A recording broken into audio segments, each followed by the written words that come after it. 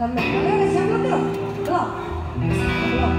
Ya, salam pemirsa, selamat datang di Indonesia Tiba.